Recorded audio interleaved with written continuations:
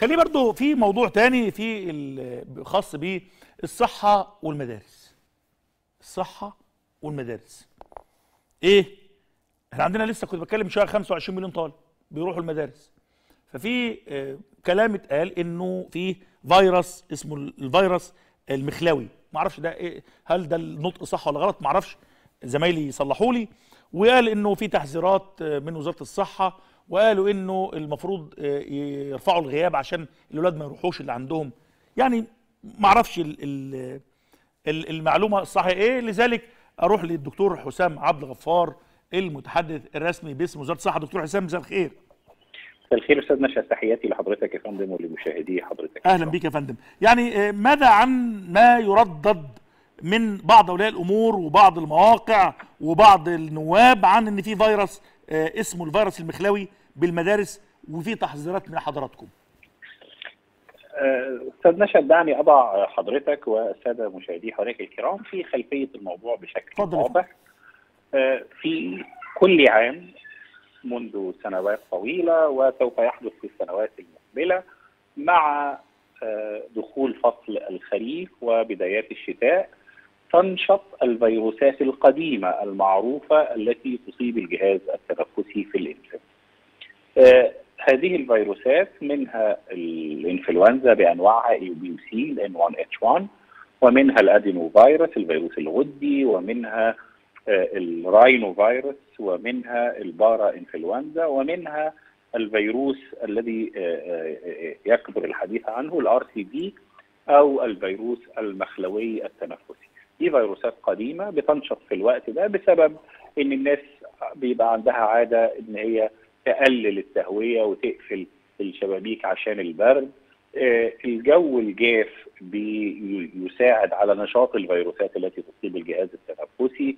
الجو الجاف بيقلل من الإفرازات المخاطية اللي موجودة في الأغشية المخاطية في الجهاز التنفسي وبالتالي يسهل على الفيروسات إنها آه، آه، آه، تصيب الجهاز التنفسي بخلاف الجو الرطب دي فيروسات آه، موجودة ليست جديدة معروفة. أعراضها في الغالب يعني من كل 100 واحد مصاب بهذه الفيروسات آه، في 98 أو 99 بيعدوا بأعراض خفيفة جدا أو بيعدوا حتى من غير أعراض. في حالة أو اثنين من كل 100 مصابة آه، بيحصل عندها التهاب في الجهاز التنفسي السفلي وتتطور الأمور إلى آه، آه، التهاب في الرئة وده بيبقى غالبا في الناس يا إما الأطفال المبتسرين يا إما الناس الكبار السن يا إما الناس اللي عندها ضعف في الجهاز المناعي. آه.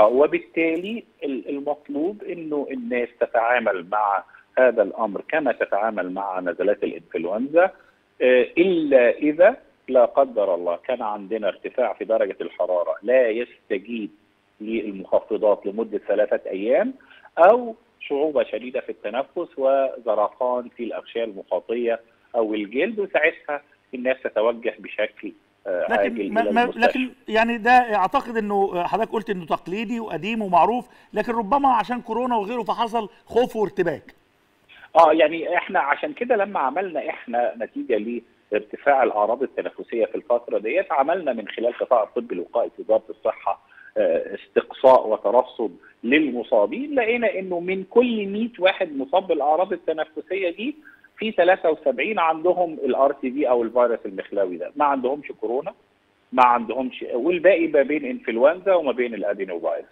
فده ال ال ال في كل موسم من المواسم دي بيبقى فيه واحد من الفيروسات القديمة دي زي ما قلت لحضرتك كده آه. هو أكثر انتشارا. الموسم ده ال RSV هو أكثر انتشارا من الإنفلونزا.